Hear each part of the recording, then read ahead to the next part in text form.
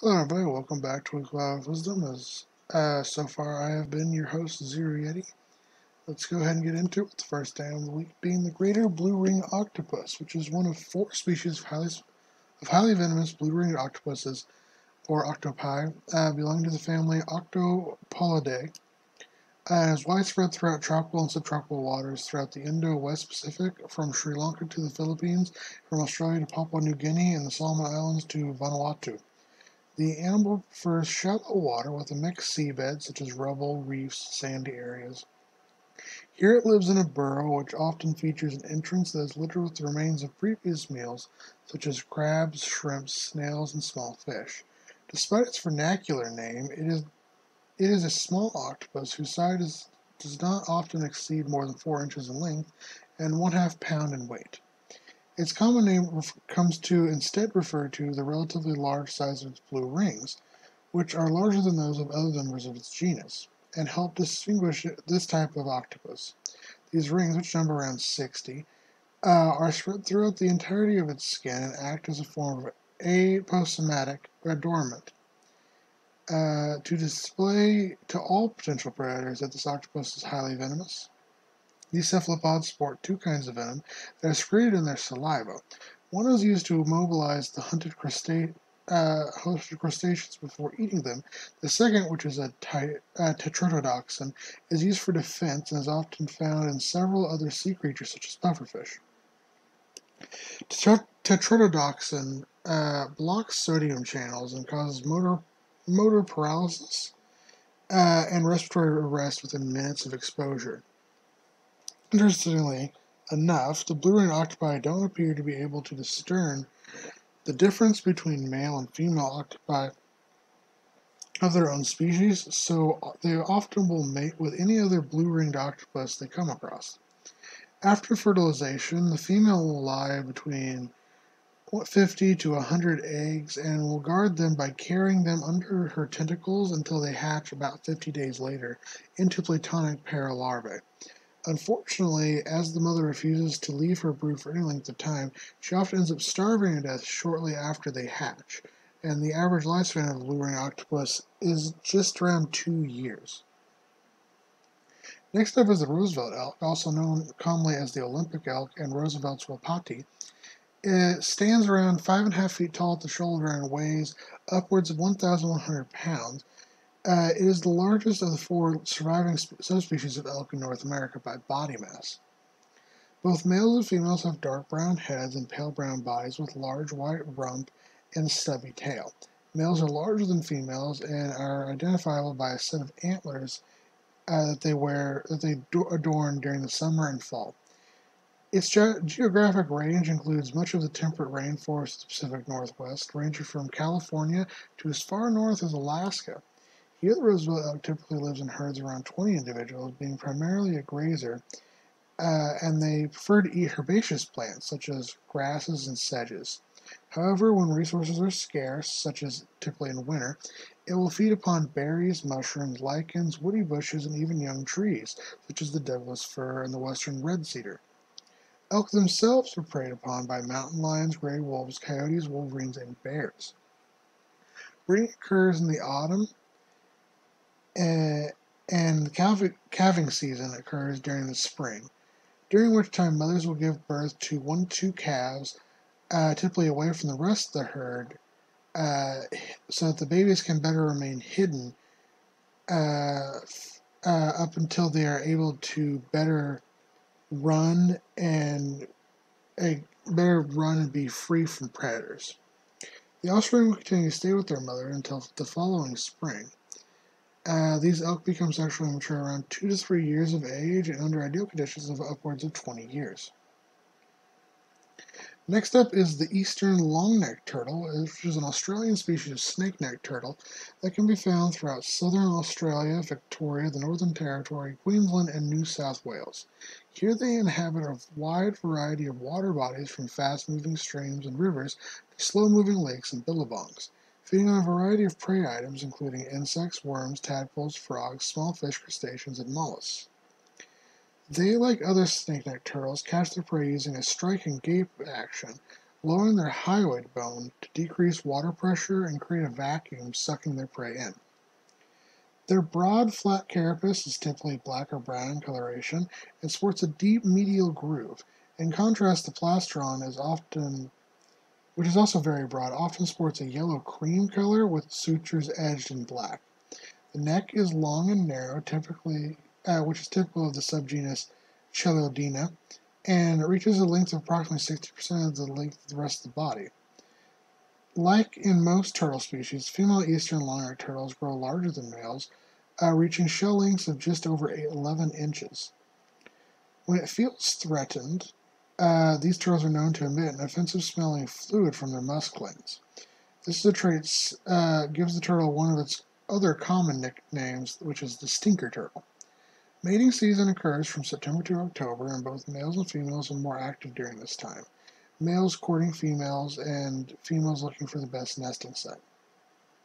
They may lay up to three clutches of 8 to 24 eggs in a given season, with the incubation period lasting 120 to 150 days. Under ideal conditions, eastern longneck turtles have been known to live upwards of 30 years. Next up is the spotted hyena, also known as the laughing hyena. It is a hyena species uh, currently classed as the only sole extant member of this genus, Crocuta, uh, or Crocuca, uh, is native to sub-Saharan Africa. They stand around 3 feet tall at the shoulder, with females being slightly heavier than males at around 150 pounds in weight compared to the 120 pounds for males, respectively. Uh, the spot hyena is the largest known member of the Hyaenidae family, uh, and it can be easily distinguished from its relatives by its bulkier build, rounder ears, and less prominent mane, as well as the namesake spotted pelt. Spotted hyenas are social animals that can live in large clans of up to 80 individuals. Females are usually dominant, usually dominant over males, including in cases where lower-ranking females generally dominate over high-ranking males. They will occasionally co-dominate with a male. Cubs can take the rank directly uh, below their mothers at birth, so when the matriarch passes away, or in rare instances disperses to another clan, their youngest female cub will take over as the leader. Social organization is unlike that of any other carnivore, uh, carnivorous mammal, bearing closer resemblance to that of primates with respect to group size and hierarchical structure, um, along with frequency of social interaction among, bo- among both kin and unrelated group mates. However, the social system of spot hyena is openly competitive rather than cooperative, with access to kills and mating opportunities depending on the ability to dominate other clan members.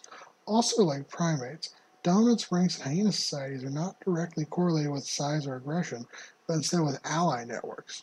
Spotted hyena is by far the most common large carnivore in Africa, with success due in part to its adaptability when hunting, as spotted hyenas have been known to frequently prey upon wildebeest, buffalo, zebra, antelope, gazelle, giraffe, rodents, sheep, goats, cattle, fish, tortoises, lizards, primates, rhino calves, hippo calves, young African elephants, pangolins, and pythons. Additionally, they consume more of the kill than any other carnivores uh, in their area, including the skin and the bone. There exists a common misconception that hyenas steal the kills from lions, but it is most often the other way around, with lions frequently stealing kills from spotted hyenas. Spotted hyenas breed year-round depending on the resource availability, with mothers giving birth between two and four cubs, which will stay by her side for over a year. Spotted hyenas reach sexual maturity at age of 3 years and can live 25 years under ideal conditions.